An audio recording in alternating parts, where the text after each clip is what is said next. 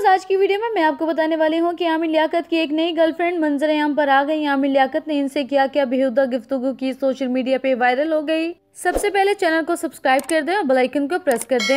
दोस्तों, जैसा कि आप सब जानते हैं कि हाल ही में आमिर लियाकत ने तीसरी शादी दानिया शाह से की है, जिनकी उम्र अठारह साल है और उनका ताल्लुक लोधरा से है। लेकिन अब हाल ही में आमिर लियाकत की एक नई गर्लफ्रेंड मंजर अहम पर आई है, जिसका नाम आरज़ू है और उनका ताल्लुक कराची से है। दोस्तों, मैं आपको बताते चलूँ की आरज़ू नाम की लड़की ने आमिर लियाकत को इंस्टाग्राम पे मैसेजेस किए और उनको कहा की मैं आपको बहुत ज़्यादा पसंद करती हूँ और मैं अपने पेरेंट्स को आपके घर भेजना चाहती हूँ। अगर आपको मंजूर है तो प्लीज़ मुझे ज़रूर बताइएगा। मैं आपसे बहुत ज़्यादा मोहब्बत करती हूँ। प्लीज़ प्लीज़ मुझे इग्नोर ना करें। मैं बहुत ही अच्छी लड़की हूँ और आपके लिए बहुत ही अच्छी बीवी भी साबित होंगी। ये तमाम बातें देख कर आमिर लियाकत का दिल पिघल गया और आमिर लियाकत ने भी रिप्लाई कर दिया की सीरियसली लड़की बहुत ज़्यादा हैरान हुई की आमिर लियाकत का आखिरकार उन्हें रिप्लाई आ ही गया है क्यूँकी वो नहीं जानती थी की आमिर लियाकत इस हद तक टर्की हो सकते हैं। और जो बहुत ज़्यादा खुश हुई और उसने आमिर लियाकत से कहा hi how are you Aamir Liaquat ने कहा गुड लड़की ने कहा, मुझे तो यकीन ही नहीं आ रहा, इस वक्त मैं आमिर लियाकत से बात कर रही हूँ। आप यकीन करें कि मैं रो रही हूँ और आपको बहुत ही ज़्यादा पसंद करती हूँ। आमिर लियाकत ने छिछोरेपन की हदें पार करते हुए कहा थैंक यू कोई बात नहीं, आपको रोने की कोई ज़रूरत नहीं है।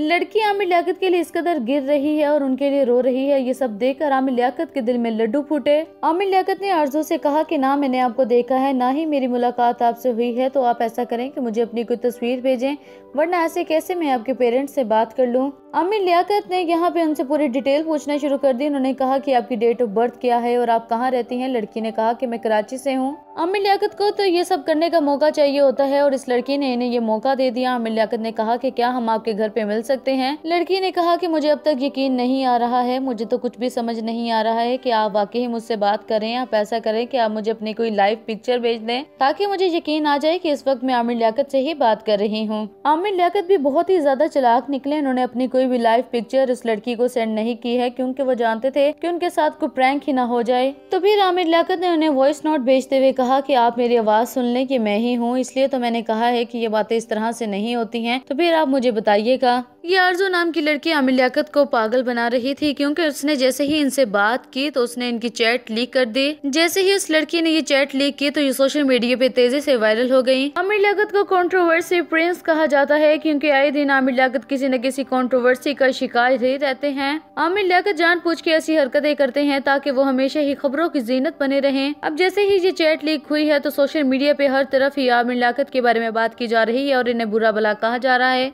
लोगों का कहना है की आमिर लियाकत कभी भी बाज नहीं आ सकते हैं। वो जान पूछ के ऐसी हरकतें करते हैं ताकि हर तरफ़ आमिर का ही चर्चा हो। बहुत से लोग आमिर लियाकत पे लान तान कर रहे हैं कि अभी तो तुमने एक छोटी सी बच्ची से शादी की है, तुम्हें उसके साथ खुश रहना चाहिए। कि बजाय तुम इसके कि तुम चौथी बीवी की तलाश में निकल गए हो। उस आरज़ू नाम की लड़की का मकसद ही आमिर लियाकत को जलील करना था। उसने जैसे ही बातें की, उसने सोशल मीडिया पे लीक कर दी ताकि आमिर लियाकत की हकीकत लोगों को दिखा सके। इसके बरक्स आमिर लियाकत की हकीकत तो सभी जानते हैं और आमिर लियाकत को इन बातों से कोई भी फ़र्क नहीं पड़ता है कि आमिर लियाकत के बारे में लोग क्या सोच रहे हैं। लेकिन दोस्तों, अब यहाँ पे देखना ये होगा कि यारजू नाम की लड़की आमिर लियाकत की चौथी बीवी होंगी या नहीं। आप अपनी राय का इजहार हमसे ज़रूर कीजिएगा। मिलती है एक नई वीडियो के साथ। तब तक अपना ख्याल रखिएगा। बाय